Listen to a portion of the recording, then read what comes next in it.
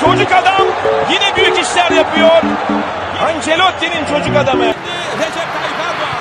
Tayyip Erdoğan. Attı golünü. Attı golünü. Gazze'ye selam olsun. Filistin'e selam olsun. Bakalım bir İtalyan hakem. Gerçek mesleği elektrikçi demiştim. Pek iyi elektrik alamıyorum.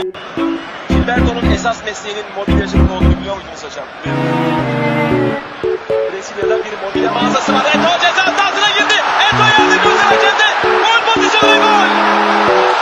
Real Madrid adeta bir çocuğun elinden şekerini aldı.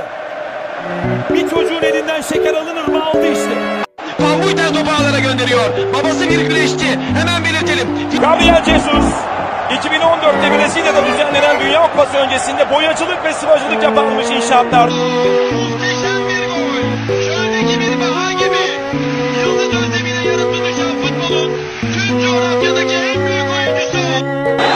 Arsenal'ın bir buçuk metre bacaklı golcüsü işte. Benzema ailesinin 9 çocuğundan 6.sı tam 9 kardeş, 8 erkek bir kız. Karim Benzema. Evra 23 kardeşi var sevgili. Gol önünde Kevin De Bruyne iyi vurur, vurdu kaleci. Birbirlerini çok sevmezler. Söz uçar yazı kalır. Benzema vurdu mu izi kalır. Küçükken, küçükken Cristiano Ronaldo'nun Real Madrid'li futbolcuların poster astı ki bu stada 1-0 oldu. Yüreğimiz göğüs kafesimizde takla attı. Tolga'nın bu hareketiyle. Eyfel'in ışıklarını söndürüyor. Eyfel'in ışıklarını söndürüyor. Eyfel'i sallıyor. Paris'i sallıyor.